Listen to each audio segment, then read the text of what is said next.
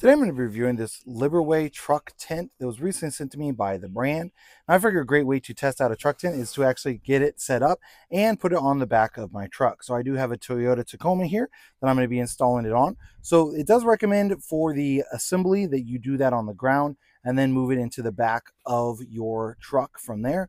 So I'm going to go ahead and go through that process, seeing how long that's going to take. Now it says for the setup that you actually want to go ACB on when putting these into the tint themselves. The problem is none of these are actually marked ACB, but they are kind of color coded. So you can see here, the shortest one is going to be the C pole. The longest one is the B pole, and then there's two A poles, and they are kind of rubber banded together.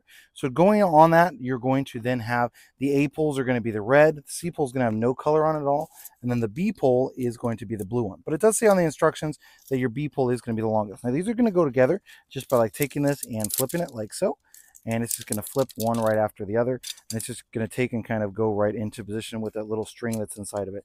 Just kind of pulls it right into place pretty easily. So you can see on there how easy that just goes right inside and now we are together. So the b pole is only a hair longer. So although it is the longest one you can see here it's actually only that's even on the end there. So it's only maybe an inch or two longer. So definitely not super long.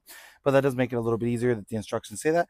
Since they are color coded, it would kind of make sense for the instructions to say what color it is, but they really don't. So not the end of the world, just something to keep in mind on that. Let's go ahead and get the poles into the tent. So although the instructions say you should install AACB, that's totally wrong. You should 100% install the B first.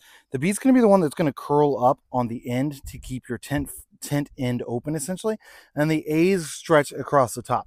The issue is if you're trying to put this up by yourself, you got your B that's kind of you're trying to get across, and the A's are weighing it down and making it where it's not moving as it should. So huge hassle.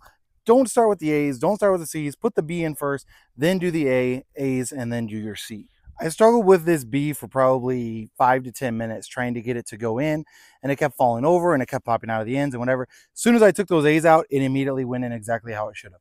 So definitely start with the B, ignore the instructions. So it is assembled. Total assembly time on this was about 20 minutes.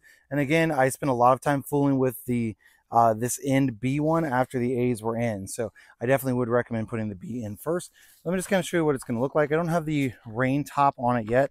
I'm just supposed to do that once you get it onto the truck, but I just want to kind of show you what it's going to look like um, in, in general. So these are going to be color coded on your bottom. So red, it is going to be color coded on the tent, just not on the instructions. So red is going to be A. So you got that one goes across there, and then that one from this side goes across the other way. And then B is going to be blue, again, color coded on the tent itself. So it goes up and across. And then C is just going to kind of go up and across the top. It just goes from one eyelet here through that little thing and then through the other eyelet there to keep the top up. So let me go ahead and put it onto the truck. So I got my wife up in here, got it up in the back of the truck, as you can see. She's five foot three and it's she's gonna have to crouch a bit. So I'm gonna say it's probably only like maybe a little under five foot tall, even in the center. So it's not gonna be like super tall where you can stand up. Now, one thing to keep in mind is if you do have your most trucks are going to have like a wheel well that goes up. So on ours, they're actually going to be up on the side like that. So it is going to decrease your space in the middle, but definitely has plenty of space. You are definitely going to want an air mattress or something to go right inside of here as your bed of the truck is not going to be very comfortable at all. But you do have those little air vents on the sides. You can easily get good airflow inside. If it's not rain, not going to rain, you can just leave that top open like that.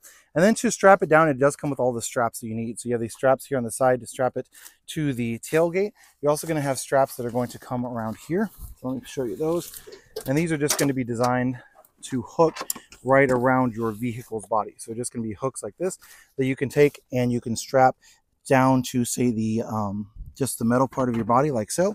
And then you can just take and tighten this up. So that way you get a nice tight fit on this tent, keep it from moving, that sort of thing. So overall, definitely really nice if you're going out camping and maybe you don't want to set up a tent on the ground, something like that. The only downside would be that assembly time is just, if you're one person, it's going to take you a little bit. If you had two people, it definitely would be a lot easier. And it's definitely going to take two people to get up in the truck. So if you're solo mm-hmm. camping, you're going to have to try and get somebody else to help you or just kind of try and get it up there and struggle with it and that sort of thing. With two people, it did make it a lot easier. But overall, definitely a really nice little tent for the back of your truck.